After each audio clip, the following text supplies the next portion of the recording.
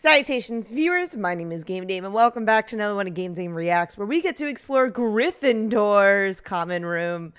And uh, I know Gryffindor is probably one of the most popular houses, just because that's where Harry Potter it resides. But now I get to see it firsthand in the video game, and you get to be part of the experience.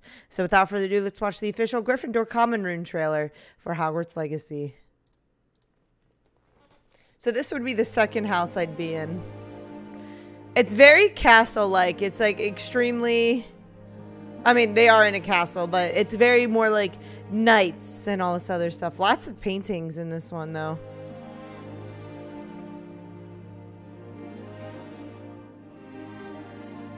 It's very knightly, I should say.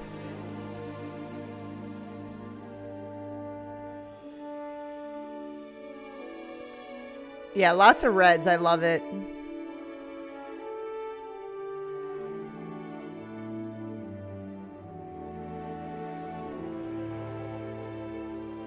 I like how you get to interact with almost every piece. Almost every piece. I don't know how much you can interact with, but yeah, they all look really nice.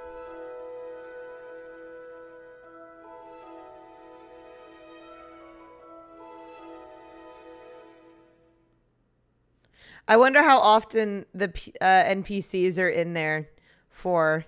Like it's the same ones every time, or do they switch out with other students? Yeah, I like Gryffindor's common room. I think it's I think it's really nice. I think it's like I said, it's very knightly.